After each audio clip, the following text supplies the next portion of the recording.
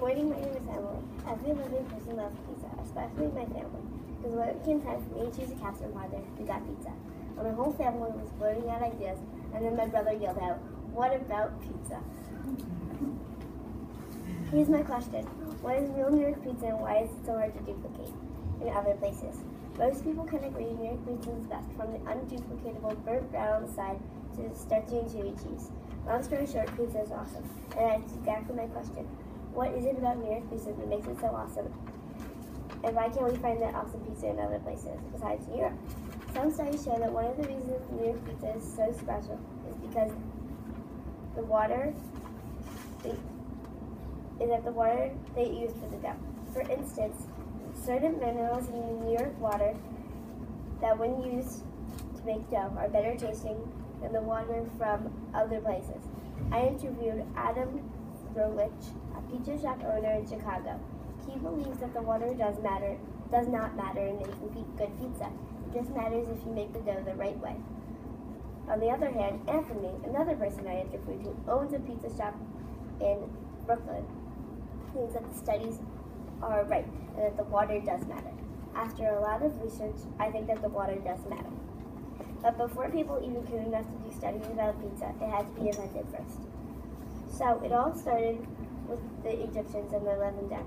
Then the Greeks and the pita bread. Then the Italians putting to- toppings, sauce, cheese, etc. on the raw dough, then cooking it. This was the first idea of pizza. Pizza was invented in Naples, Italy, June 11, 1889, when Neapolitan pizza maker Raphael Esposito created the pizza margherita, garnished with tomatoes, mozzarella, and basil, to represent national colors on Italy, as shown on the national flag. When Italian immigrants came to America and settled in New York, along with the water, made the perfect pizza environment. The first pizzeria opened in the United States was Lombardi's in Greenwich Village. When I went to Lombardi's, I got the opportunity to see the kitchen. The oven was made in 1905, originally made to bake bread.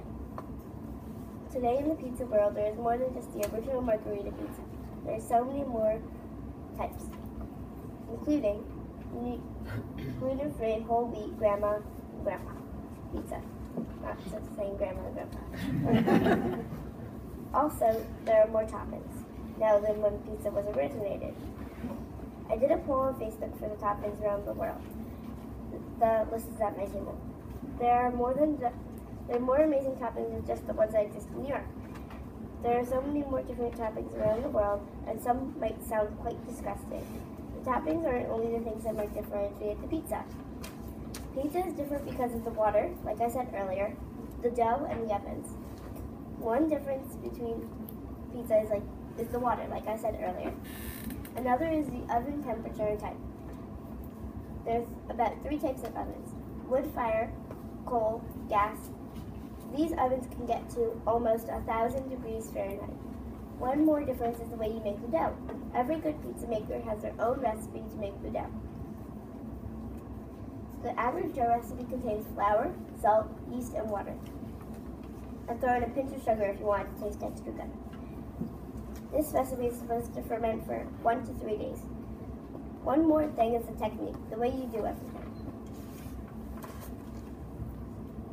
In conclusion, York pizza is special because of the water, the recipes, and most importantly, the history and heritage that lives in New York.